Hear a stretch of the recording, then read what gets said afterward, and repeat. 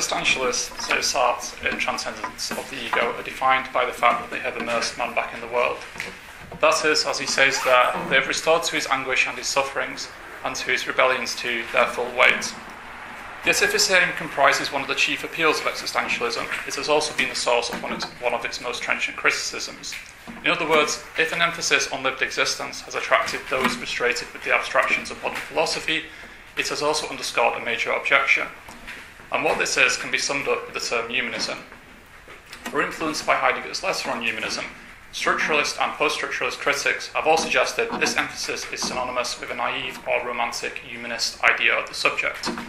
That is, they have suggested that existentialism's return to man amounts at best to the radicalization of an isolated and discredited subject entity concept. And as such, continuing, it is the aim of this paper then to refute this charge. In short, it is the aim of this paper to explain how Sartrean existentialism's concern for man does not necessarily entail a philosophically limited humanism. However, before we can show the, how this is the case, it is necessary to say something more. That is, it's necessary first to explain more specifically what humanism actually is, what is limited about it, and why existentialism is identified with it. And it is to answer these questions then that we must first look to Heidegger's letter on humanism. This is because it is there that Heidegger outlines an answer to all three questions. And taking the initial two first, we can say that Heidegger's argument against humanism there is based on the idea that it exists as a certain kind of science of the human. In other words, the limitation of humanism derives from a notion implied by the idea of the humanities. That is, its limitation is that it exists as a complementary science, doing for the human what the natural sciences do for the material world. For humanism, like science in relation to the physical, assumes that man is an isolatable field about which, is, about which it is possible to conduct a neutral originary inquiry. The problem, however, with such an approach for Heidegger is evident. For in assuming it is possible to have an isolated originary inquiry into man, humanism already makes a certain ontological assumption about its object. That is, without realizing it, humanism makes an assumption about the relation of being to the essence of man. And it does so insofar as it positions man as an isolatable object of knowledge. For humanism does not ask whether man stands in a unique relation to being which cannot be known in this way, or whether man must fundamentally be caught up with being. And it cannot do so since this would mean abandoning the idea of man as an isolatable theoretical field. Rather, it presumes by dint of its method that we, lo- we quote, locate, locate man within being as one being among others, a being that, even if possessed of unique qualities, is ontologically equivalent to other beings. And this means, as Heidegger has argued in Being and Time, we take man as, quote, an, an instance or special case of some genus of entities of things that are present at hand. In other words, no matter how subtle or unprejudiced humanism believes its inquiries to be, it can never escape the characterization of man in terms of presence. That is, no matter how different from other entities man is seen to be, humanism's method ends up construing him as another entity in the world. In short, humanism ends up construing him in terms of an is to which it is possible to ascribe properties or attributes like subjectivity or reason. First, to address our previous question, we can say that the problem with humanism in this way is that it fails to, as Heidegger puts it, think the essence of man more primordially. In short, it fails to consider whether man stands in a different relation to being than that of an entity.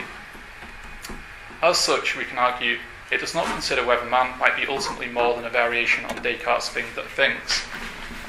Yet, why is it that Heidegger also, to look at our third question, considers existentialism's return to man to be the latest mode of such humanism? The answer lies in a reflection on, again, considering Descartes, what we might mean by saying man is more than a thinking subject. Whereas Heidegger makes clear, though, though quote, the essence of man consists in his being more than merely human, if this is represented as being a rational creature. More must not be understood here additively, as if the traditional definition of man were indeed to remain basic, only elaborated by means of an existential postscript. In other words, Heidegger sees the danger of existentialism being that it simply adds to the humanist understanding of man without fundamentally challenging it. That is, its return to man simply means, as Crowell puts it, emphasizing the contingent psychological and situ- situational factors in human life in contrast to the life of a purely rational agent. And in this way, for Heidegger, existentialism fails to get beyond the humanist project. Rather, it returns to, its return to existence with its emphasis on the personal dimensions of subjectivity simply completes that project. Consequently, we have now addressed our initial questions. That is, we have seen both why humanism is philosophically limited and why Sartrean existentialism might be identified with it. However, it will be the contention of this paper that Heidegger is only half right here. In other words, we will argue that whilst he is right to say that humanism is unable to conduct a truly originary inquiry into man's being, he is wrong to identify Sartre with such a limitation. Instead, we will argue that Sartre's inquiry into and conception of man is decidedly non humanist. And further, questioning the claim that Sartre does not ask about the relation of being to the essence of man, we will show how one of the major objections to Sartrean existentialism does not hold. Yet, how are we to pre- proceed in this project? How are we to refute this objection and elaborate Sartre's non humanist conception of man? Well, we begin to do this by first noting against Heidegger that Sartre was concerned with being and ontology, for as he says towards the end of Being and Nothingness, my ultimate and initial project is always the, is always the outline of a su- solution of the problem of being. Yet such an ontology, critically for us, does not proceed by an abstraction from human existence.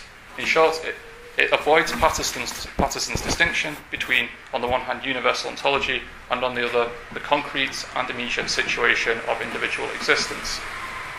Rather, we can say it proceeds by deriving an ontology precisely from man's concrete existence, experience.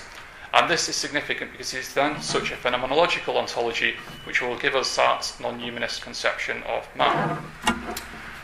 But how, we can ask continuing, does it, does it do this? And indeed, isn't an ontology beginning with man a contradiction which simply returns us to the humanism we were trying to escape?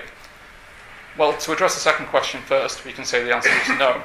And this is because what we start with is not man as an object of inquiry or knowledge, but with the first person phenomenological experience of living men. In fact, it is a very conflation of these two terms which prevents a proper appreciation of the latter. That is, as Levy points out, we, mis- we misunderstand our own being in the world and take ourselves for disinterested spectators. Furthermore, an authentic recovery of our experience as it is actually lived is ontological insofar as, unlike humanism, it precedes it precedes any assumptions about what man or being is. For as Heidegger says, the term phenomenology expresses a maxim which can be formulated as to the things themselves. It is opposed to all free floating constructions and accidental findings. And this means that true phenomenology can open the way for a genuine inquiry into being. That is, because phenomenology recovers an experience prior to existing ontological assumptions, it can serve as a basis for an unprejudiced exploration of man's relation to being. However, that is not, of course, to say that recovering such an experience is necessarily easy, nor is it something we ordinarily do when we believe we are recalling or describing some episode. For Husserl, uh, for us herself pointed out, awareness of our own experience is systematically distorted by ingrained commonsensical assumptions about the way the world is. And this has, has at its heart the problem that we project the nature of reflective experience onto all experience. That is, since explicit recalling involves reflection, we usually interpret any experience through the lens of the subject object parody of the reflective mode. Nevertheless, the difficulty here is not intractable, and how we are to overcome it is indicated by Sartre in Transcendence of the Ego. This is because, as he says there, uh, quote, obviously we need to resort to concrete experience, and this may seem impossible, since an experience of this kind is by definition reflective, in other words, endowed with an I, but all unreflected consciousness, being a non-thetic consciousness of itself, leaves behind it a non-thetic memory that can be consulted. All that is required for this is to try to reconstitute the complete moment in which this unreflected consciousness appeared, and this is by definition always possible. For instance, I was now just absorbed in my reading. In other words, then, there is a domain of pre reflective experience, unreflected consciousness, which is prior to reflective stepping back from the world and the theory it gives rise to. That is to say, there is a mode of experience not involving explicit reflections, as when, I absor- as when I am absorbed in an activity, which is given free from prior ontological assumptions. And this can thus serve as the basis for an unbiased phenomenological ontology. Secondly, though, Sartre also suggests it is possible to recover the nature of such experience without this necessarily being distorted by reflection. For it is, if, it is as if original experience leaves behind a trace a non-thetic memory which lingers in subsequent consciousness like ripples on water. And this means with sufficient effort and by holding in check our tendency to interpret the experience, we can discern its contours. In short, with sensitivity to certain moments of present consciousness, we can recover the pre reflective without a reflective reconstructive leap into a past consciousness. But why to return is this significant?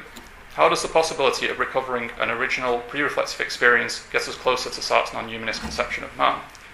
The answer is that it does so by providing the starting point for a phenomenological ontology. And we will see how this is the case when we look at what the nature of that starting point is.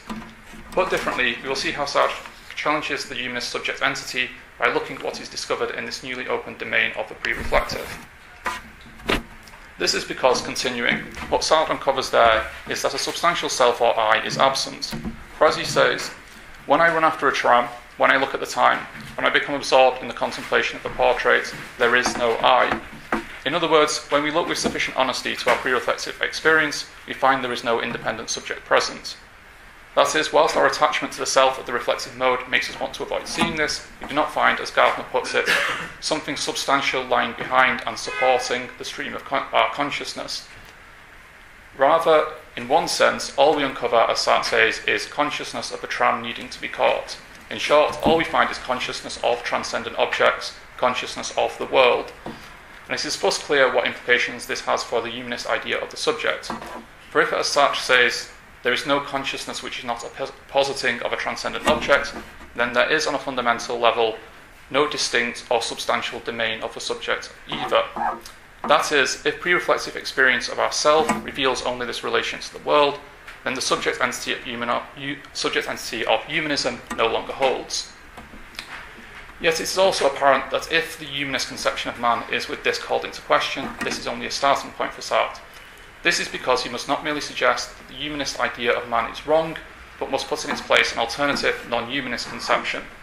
And the first and most obvious problem in this case is what now man for Sartre can mean at all.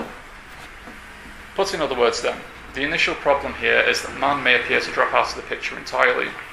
For if phenomenology has revealed that there is only intentional consciousness of objects, then how do we distinguish consciousness at all? That is, if there is nothing other than intentional positing of the world, then don't we risk simply reducing man to world? The answer we suggest is no. And the reason for this, concern, um, the reason for this concerns the nature of that intentional positing. For a description of pre-reflective experience reveals that this is not merely a passive reflection of a world, but an activity or bringing forth in relation to it. And what this means then is that even if Sartre says consciousness has no content, it is, it is distinguished by this active relation. In other words, even if man exists as nothing other than the positing of the world, he nonetheless is distinguished by this very positing relation to it. But whilst there is no isolated domain of man, he still stands out as the activity of that positing. And this means, as such, that it's possible to talk about man as exclusively worldly and there being no separate subject entity without dissolving him into, into that world altogether. However, where does this leave us overall in terms of our argument? Where does this point about man as active relation leave us in terms of our effort to develop a Sartrean non humanist conception of man? Well, it represents progress, but we started by saying that the humanist conception could be overcome by developing a phenomenological ontology in Sartre. In other words, we said that an authentic recovery of our lived experience could serve as a starting point to think the essence of man more primordially. That is, experience could serve as the basis for grasping man on a level prior to the ontological assumptions of humanism. And further, we saw that this was evidence when a proper description of pre reflective experience revealed man as only intentional consciousness of the world. This is because we saw there that not only was man not subject entity of humanism, but that he could be understood as a relation of active positing. In short, we saw that man could be both nothing other than the world and yet be distinct from it by being a relation to that world. And as such, it's apparent that with this we gave the basis for an alternative non humanist conception of man's being. Yet it is also apparent that this is only a starting point. For if the idea that, as Gardner has observed, consciousness is a relation allows us to get beyond humanism, this still leaves the question of what in exactly this relation consists. In brief, this leaves the question of what it means to say that man is a relation to the world rather than just having one. And as such, it is the job of phenomenological ontology and the rest of our discussion to make sense of this claim. Put another way then, In order properly to develop Sartre's non-humanist conception of man, we must take further steps. For if we cannot explain how man as relation can be rendered theoretically explicable, we cannot meaningfully provide an alternative to humanism's subject entity. And if we cannot do this, a non-humanist phenomenological existentialism cannot be defended. But how are we to achieve this? How are we to understand, as Sartre says, the relation which we call being in the world? Well, according to Sartre, we can do so on the basis of negation. For in our practical absorbed dealings with the world, we find that it is the activity of negating which marks out a distinction on the ground of the world. And as such, then, an inquiry into man as relation proceeds from negation, since with this there is an essential distinction from a world which is nonetheless bound up with it. In short, it is with this that we find the experiential manifestation of man as both nothing other than world, yet standing out from it. However, it is also apparent that this cannot represent the end of our inquiry. For if an account of real negation might show us how man as relation is theoretically explicable, it can do so only once further questions have been answered. In different words, non being can point the way towards a non humanist conception of man only once it, is, it itself has been rendered intelligible. And we can achieve this only by looking at the theoretical criticism of this notion. For we can show how real, be, real non being makes sense by indicating how it avoids the objections made to its intelligibility. That is, we can show how non being is intelligible, thus how it renders man as relation intelligible only by seeing what it must be to avoid those, criti- to avoid those criticisms. So, what then are these objections? What are those criticism, criticisms we need to overcome? The most obvious and fundamental one is that non being is not in fact real. And this objection can be summed up in the idea that negation is only a quality of judgment. To explain that, this is a criticism that non being, as when we discover a door to be not locked, is merely the subjective projection of a certain concept. As Sartre says, then, this means that negate, quote, the negation, negation, the result of concrete psychic operations, is supported in existence by these very operations and is incapable of existing by itself. So, for instance, when we look in our wallets expecting to find 20 euros and find only 10, we do not really discover the non being of the 20, but just the being of the 10. And this means that when negation comes into being, it is merely as an extrinsic judgment imposed afterwards. In short, it is a post hoc judgment existing by the contrast between what was expected and what was found, and thus having no real basis in the world. Yet, how then are we able to avoid this? How are we able? How are we to deal with this objection and thus help render non-be- real non-being intelligible? The answer for Sartre, we can say, is twofold. But firstly, he wishes to disprove the idea that, quote, ordinary experience reduced to itself does not seem to disclose to us any non-being. In other words, he seeks to show that we do in fact encounter real non-being in pre reflexive experience, that it is not merely a concept projected onto it, and second, secondly, he intends to use this description of a concrete encounter with objective non being to demonstrate a further point. That is, he seeks to use this description as a base for showing how, even though non being always appears within the limits of human expectation, it is still part of the objective world.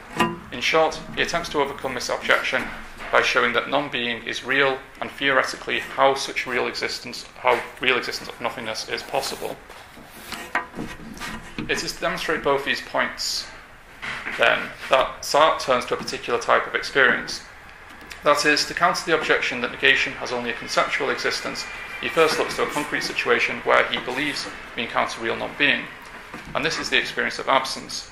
In other words, Sartre hopes to show by accurately describing this existential experience that we do in fact encounter non being in the world, and that hence nothingness is not merely an empty, empty subjective concept. So, how then does he begin in this enterprise? He starts, we can say, by giving the example of the absence of a friend we had agreed to meet in the cafe at a particular time. That is, he gives the example of Pierre's absence from the cafe.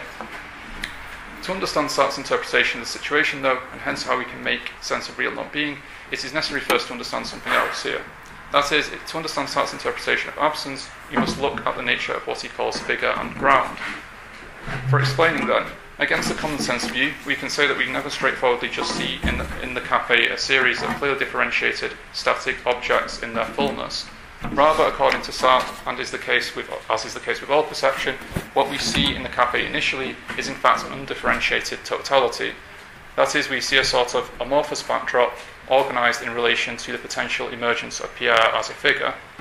For rather than distinct cups, chairs, and people, what we see is an indistinct ground, organised as not being the figure, as the object of a purely marginal attention. And it is this idea of figure and ground, then, which will allow us to understand how absence is interpreted for Sartre. To elaborate on how this is the case further, we can start by saying that the nature of the ground is dependent on the status of the figure in relation to which it is marginal. What we mean by this is that how the ground is given to us will depend on whether the figure, the focus of our attention, is still being searched for, found as present, or found to be absent. So, to return to our example then, we see that when we are searching for Pierre in the cafe, we find the figure ground relation given in a particular way.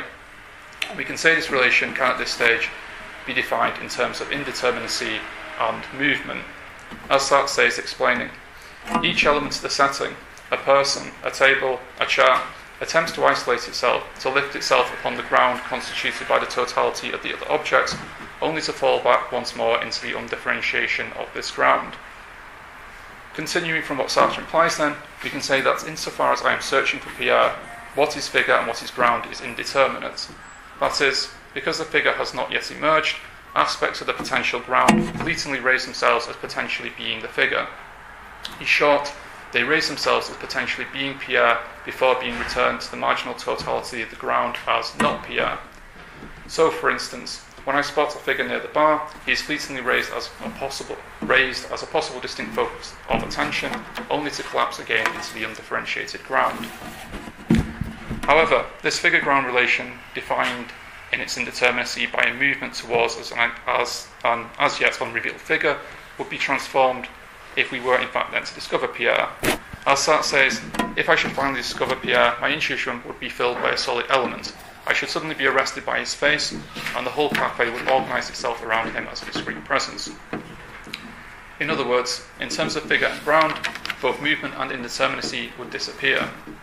Instead, the ground, losing its dynamic self collapsing quality, would be organised as a definite and static, albeit marginal, presence, now standing in a clear relation to Pierre as figure.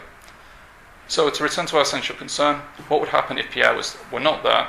How is the relationship of figure and ground transformed when Pierre, on the other hand, is not found? Sartre's answer can be understood in relation to what we have said happens when Pierre is found. But just as Pierre's presence as figure organises the rest of the cafe as a fixed present ground, then Pierre's absence fixes the rest of the cafe on the basis of that absence. To elaborate then, as Sartre says, his absence fixes the cafe in its evanescence. What this means is that the cafe is indeed fixed. It is no longer in the flow of indeterminacy, but it is fixed in relation to a figure which is not there. As Gardner puts it, Pierre's absence fixes the cafe which carries and presents the demanded figure of Pierre. And this means that, in turn, the ground which is fixed carries with it everywhere the reference to the evanescent collapse between figure and ground. As Sartre emphasizes, this figure, which slips constantly between my look and the solid real objects of the cafe, is precisely a perpetual disappearance.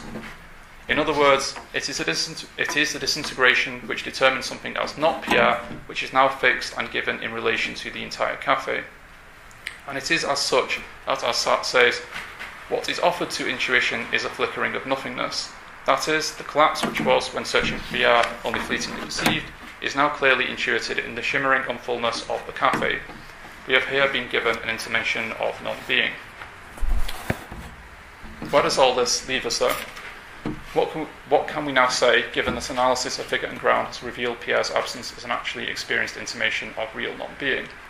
The answer is multifaceted.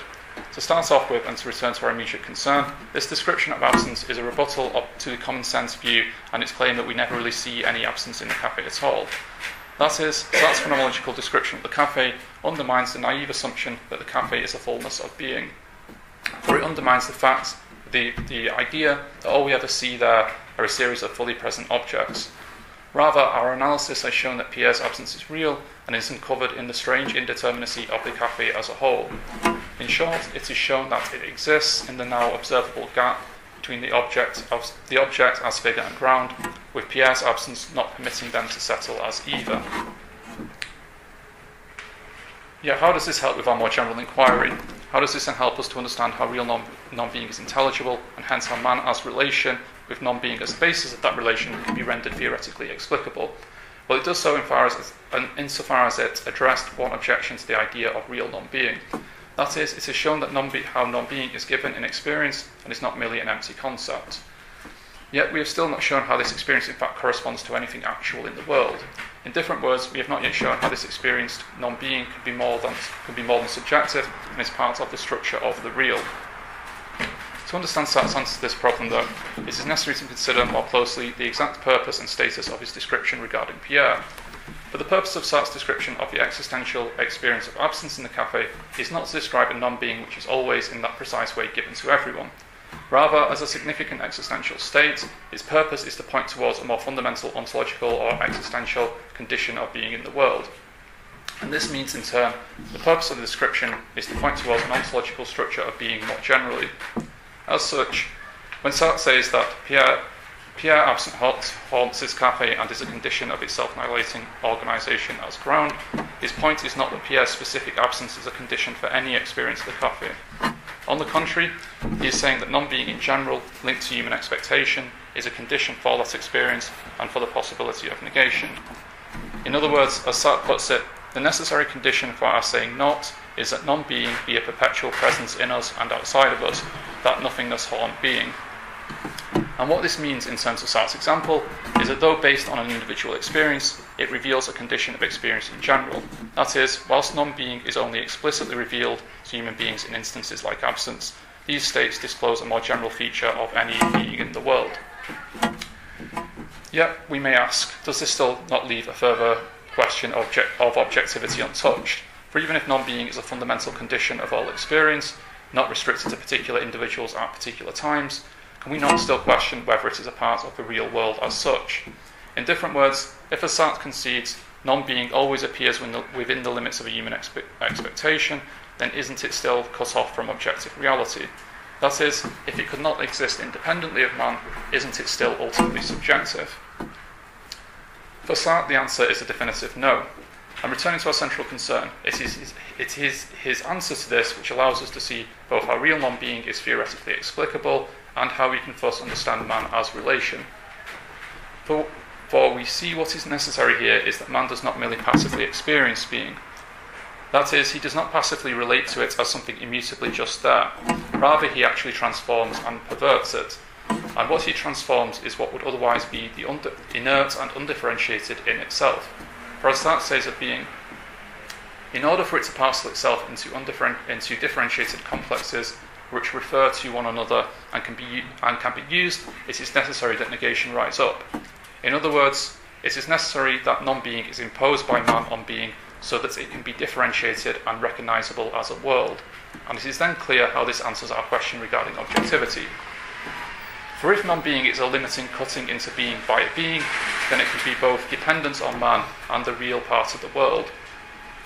In different words, if this transformation, which is non being, is a real change carved into the structure of being itself rather than projected onto it, then we need not see it as subjective.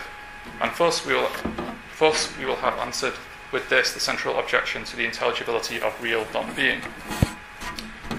Yet, didn't we also say that in addressing this question, we would be able to address the central concern of our paper? Didn't we say that is that in explaining how non-being can be both dependent on man and yet objectively part of the world, we will be able to grasp a non-humanist conception of man? We did. And to understand how this is the case, we need to cast a glance backward to the start of our discussion.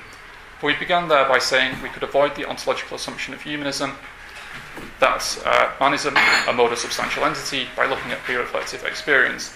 In other words, we said we could bypass the assumption implicit in its inquiry into man's distinct object of knowledge by describing an experience existing prior to reflective theory. And what we found there, in fact, did undermine the humanist presumption. This is because properly described, pre reflective experience revealed no substantial self independent of the world. Instead, what we found was only intentional awareness of transcendent objects. In short, we discovered that we were nothing other than the world and yet somehow, somehow a relation to it. We intuited, put differently, that we existed as a positing relation to that world, as having no, as having no substance di- distinct from it, yet still standing out from it. However, the problem was then how we rendered this intuition theoretically intelligible. That is, the problem was how we made this intuition of ourselves as a, non- as a non-substantial relation to the world, as nothing other than world, yet not world, make sense. And our first step towards doing this was with negation. This was because negation represented a relation to world which was nonetheless without, which, which nonetheless, without any separate substance, stands out from it. And continuing, therefore, looking into, the, into this to grasp the meaning of man as relation, as relation, we uncovered real, real negation. That is, we saw that underpinning man as essentially worldly, yet distinct from the world, was non being as something real. And this in turn indicated a solution to our problem. For if negation was real, then it could be a relation that was part of the world, yet as its contradiction, a non substantial standing out from it. In short, if there was non being existing parasitically on the world, we could have the being of a relation that did not require anything existing behind or on the other side of that relation. Yet non being also, we saw, presented a new problem.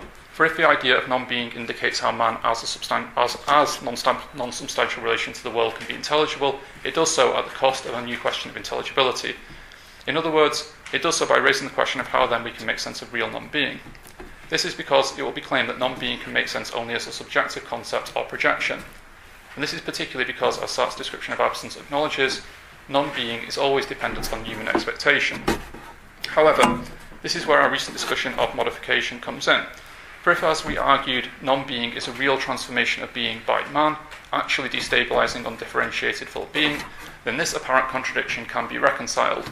That is to say, if, quote, man's relation with being is that he can modify it, then non being can be both part of the world and, and dependence on man. And if this is the case, then we can see how this answers the question of a non humanist conception of man. For with this idea of modification, we will then have shown how real non being is intelligible, and hence how man as relation to world can be understood. In different words, we will have shown how if man is the modification of being that is non-being, then he can still then he can both possess no substance distinct from the world and yet not yet still not be reducible to it. And in this way, then we'll, we will have in turn answered Heidegger's charge against existentialism, for we will have shown how a conception of man can be developed from Sartre's philosophy that is not humanist.